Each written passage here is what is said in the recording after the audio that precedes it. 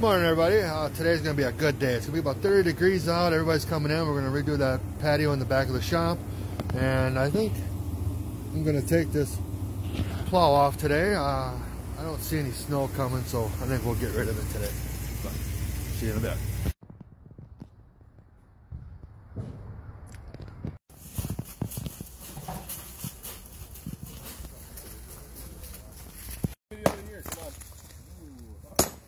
Okay, the opening mat. And there we go. Plow is off. I don't think we're done with snow. I think it'll snow about one, eh, maybe one more time. So I'll probably have to put it back on, but it's off for now. It's a pretty heavy plow, so. Why the fuck you rolling your eyes up there?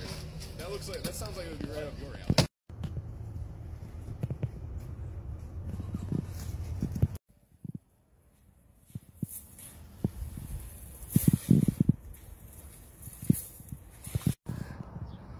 All right, that'll do it for the today. Uh, we got everything dug out. We got our chips in. We're gonna put two new steps here. And over there is all of our pergola stuff. As you can see, we got pergolas up. We're gonna put two, three pergolas right here, and then two more over that way. But we'll be laying a patio tomorrow.